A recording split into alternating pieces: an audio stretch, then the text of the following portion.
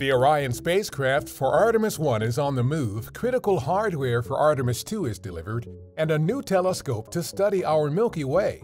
A few of the stories to tell you about this week at NASA. Engineers at NASA's Kennedy Space Center in Florida moved the Orion spacecraft for our Artemis 1 mission from the Launch Abort System facility to the Vehicle Assembly Building. Then Orion was placed on top of the Space Launch System or SLS rocket and joined the other flight hardware already stacked and ready for the upcoming Artemis 1 mission. Artemis 1 will be an uncrewed flight test of Orion and the SLS as an integrated system ahead of crewed flights to the Moon.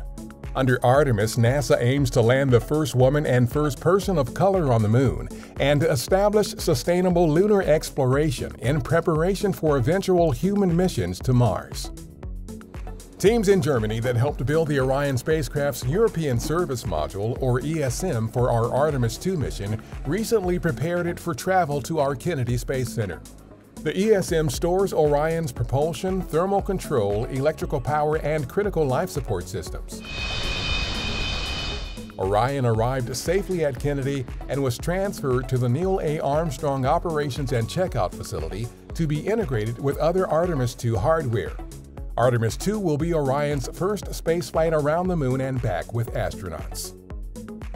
NASA has selected a proposal for a new gamma-ray space telescope called the Compton Spectrometer and Imager, or COSI, that will study the recent history of star birth, star death, and the formation of chemical elements in the Milky Way. Out of 18 telescope proposals that our Astrophysics Explorers program received in 2019, COSI is the only one selected to continue into development. It is expected to launch in 2025. Undocking confirmed. Soyuz MS-18 is now free of the International Space Station. On October 17th, a Russian Soyuz spacecraft carrying cosmonaut Oleg Novitsky of Roscosmos and Russian actress Yulia Peresild and producer-director Klim Shipenko landed safely in Kazakhstan just hours after leaving the International Space Station. The seven people remaining on board the station include NASA's Shane Kimbrough, Megan McArthur, and Mark Vande Hei. The station is scheduled to get four more occupants later this month with the arrival of our SpaceX Crew 3 mission, currently targeted for launch on October 31st.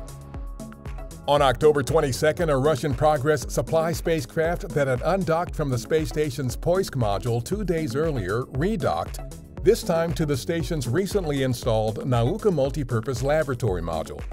The maneuver provided an opportunity to test and check out systems in the new module that are used for orientation control of the station. NASA is sharing OpenET, a powerful new web-based platform that uses publicly available data to help those who rely on water resources across the drought-stricken western U.S.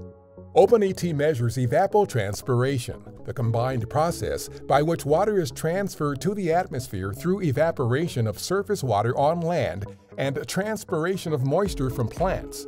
The tool puts NASA data into the hands of farmers, water managers, conservation groups, and others to accelerate improvements and innovations in water management. On October 19th, we held a ceremony at Ellington Field near our Johnson Space Center in Houston to name the hangar there that houses the agency's T-38 astronaut training jets after late astronaut John Young. Young was a member of NASA's second astronaut class known as the New Nine. He walked on the moon during Apollo 16, commanded the first space shuttle mission, and became the first person to launch into space seven times, six from Earth and once from the surface of the moon. That's what's up this week at NASA. For more on these and other stories, follow us on the web at nasa.gov/twan.